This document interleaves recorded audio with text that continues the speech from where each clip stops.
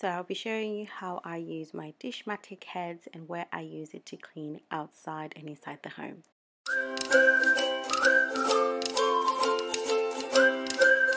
Hey everyone, welcome back. So today I'm going to be showing you how I use my Dishmatic. If you're not new to the channel, you know I use this quite a lot in my house. So today I'm going to be showing you where I use it on the outdoor spaces. Um, it's very easy to use, to fill up. I normally use dishwashing liquid or any of my cleaning products that I want to use, but today I'll be using dishwashing liquid.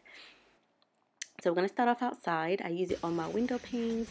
Um, this is just dishwashing liquid. Sometimes I do use the pink stuff for tougher stains but today I'm just giving the pane a clean along with the glass. So it's very simple very effective and doesn't take a very long time.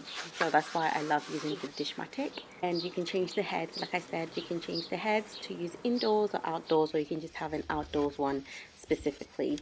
So you can have that option. So I'm now just cleaning the window pane and just wiping off all the excess washing up liquid off the window Give this video a thumbs up if you're enjoying the content. I also use the Dishmatic on doors, so it's great on PVC doors. Again, I could use a different product like the pink stuff to remove all the marks, like the dark marks. But today I'm just focusing on just cleaning the door itself and I will do a deep clean to remove the marks off the door. So I'm also doing the glass doors, the glasses of the doors as well.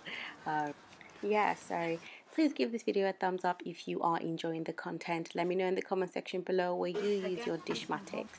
Um, I'm now just wiping off all the excess product and just making sure the glass is shiny and looks almost brand new.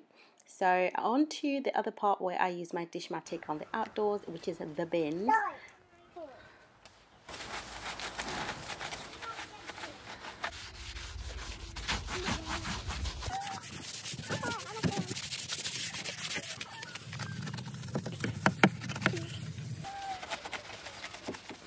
Now that it's summer, we need to clean all outdoor spaces as well because we do spend most of the time outside. So yeah, let me know if you guys are doing any outdoor cleanings as well. So look forward to more outdoor cleaning motivation guys. I will see you on my next video.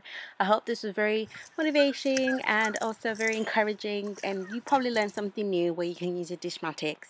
So go purchase one if you haven't got one already. But yeah i hope this was really good and i will see you on my next video. If you can't wait until then please check out any of my other videos listed below and i will see you guys on the next one. You have a lovely day. Bye